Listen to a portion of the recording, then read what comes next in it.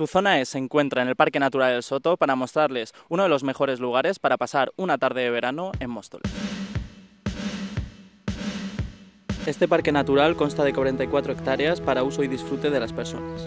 Con un sinfín de espacios verdes, el Soto es uno de los lugares más emblemáticos del municipio.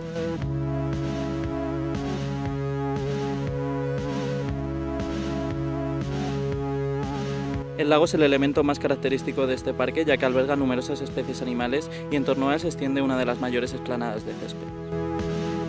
Es un sitio bastante amplio donde los niños la verdad es que no tienen ningún peligro. Pueden jugar porque les encanta jugar al fútbol.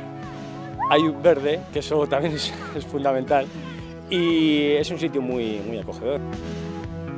Su gran tamaño y la diversidad animal y arbórea hacen de este parque un perfecto lugar para hacer deporte o pasar una agradable tarde veraniega.